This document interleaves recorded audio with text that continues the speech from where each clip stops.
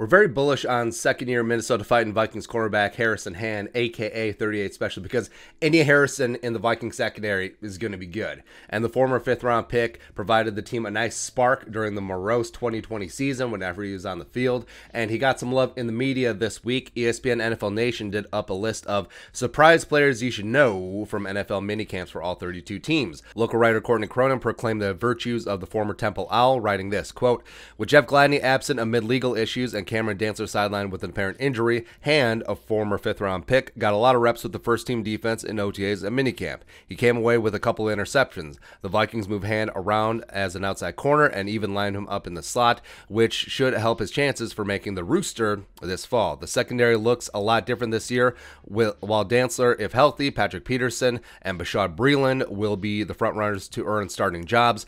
Hand strong springs showing could put him in line to duke it out with Kris Boyd for one of the final spots on the depth chart. And of course, Zimmer loves him some cornerbacks, and he isn't romantic about who is starting out there. If you're not performing, you will get pulled off the field, as we've seen the last couple years uh, when he installed the rotation with Trae Waynes, with uh, Xavier Rhodes out there as well. So it doesn't matter what you've done in the past with Zimmer at cornerback, it, it matters what you're doing right now, and I respect that. Now, if you only did that with the offensive line, Mm.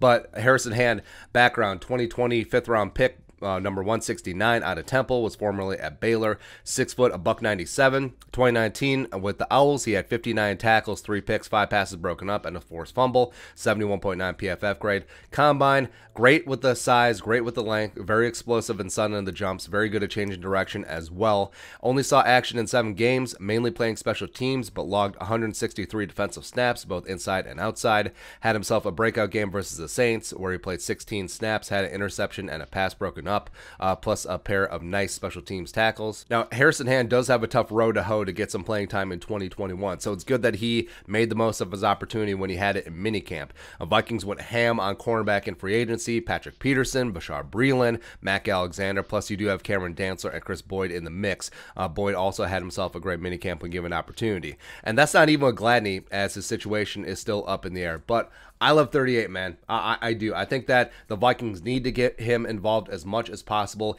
even if it's just on all the special teams units. And hey, if some of the cornerbacks above him aren't playing up to snuff, get him on the field. Get him out there and let him take advantage of his opportunities, just like he did in minicamp. I think that he will surprise every single time he is on the field. The kid is special, and cream does rise. Rumble, young man, rumble. Love me some Harrison Hand. But your thoughts? Harrison Hand named the Vikings surprise surprise, minicamp player. Let us know in the comment section below. Subscribe for daily Vikings takes. Want to support that work? Post something to Venmo. But until next time, Skol, production value.